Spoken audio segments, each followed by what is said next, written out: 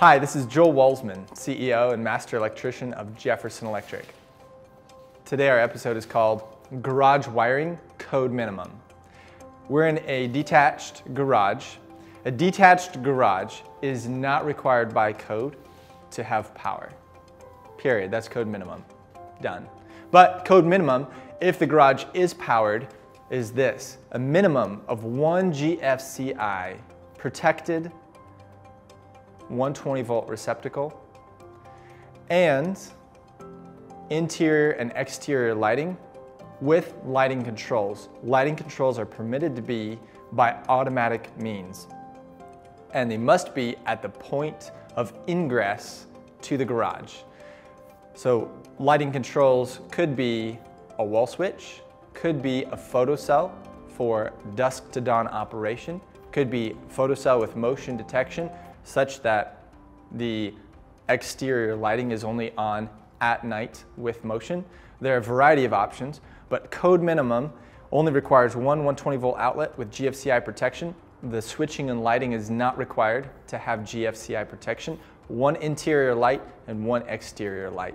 In thinking through your customer's garage lighting needs, it's important to understand um, the customer's ultimate objectives, right? Um, one possibility is that the customer would like to operate the exterior garage lighting for safety purposes from the home. It is a code requirement that at least some garage lighting located at the egress be um, controllable from the garage point of ingress. And so you can operate the garage exterior lighting with a three-way switch, meaning control is both in the garage and at the house. And that would be a three-way switch configuration. Some considerations for garage wiring could be uh, the minimum power to garage is a 120 volt, 20 amp circuit. If a garage is connected, then it must be wired to code minimum. Some thought processes that a customer would generally want at a garage would be one outlet on each wall of the garage at standard countertop height, that's 44 inches above the floor, and one outlet for the garage door receptacle. And typically that outlet is placed at the height of the garage door across the ceiling plus three feet. So if you have an eight foot garage door, measure 11 feet from the garage door to the receptacle, unless it's a direct drive garage door. And then the garage door outlet needs to be located on the left or the right and should be coordinated in its placement with the contractor or the garage door um, installation personnel. Another thing to consider is, particularly if the garage is going to be drywalled, is that every garage door is required to have sensors by code. So low voltage 18-2, that's 18 gauge 2 conduct conductor wiring, wired from the garage door receptacle, where the garage door operator will be located, to the left sensor and the right sensor for safety. And that can be incorporated into your scope of work as well. Also, most people want more than one light inside the garage. That's code minimum. Doesn't mean that's convenient. And my recommendation for a standard 22 by 22 foot garage is to have at least four four foot linear LED fixtures. There's absolutely no reason at this point to go incandescent or fluorescent. You're costing yourself more in the long run and your light output will be higher and they will be less temperature sensitive, uh, the LEDs will, than the fluorescents in particular.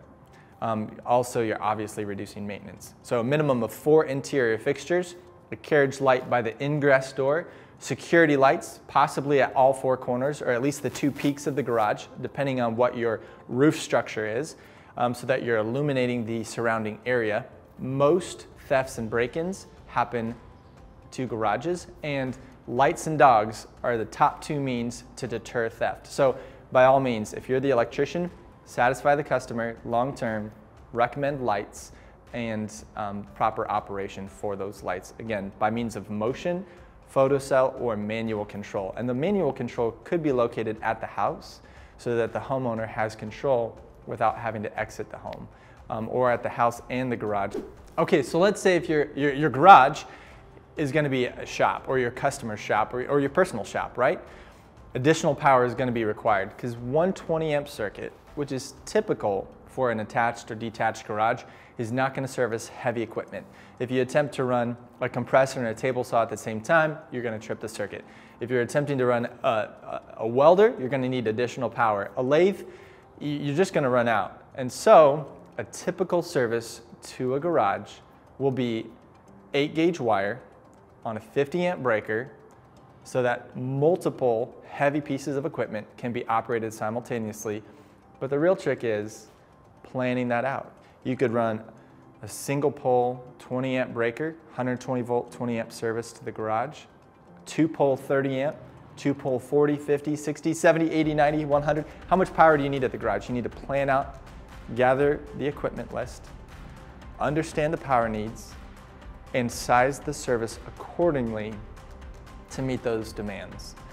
It's best practice in my opinion, but it's not a code requirement to locate a service panel in the garage so that if a breaker trips in this locality, you have control and you've isolated the issue from the house.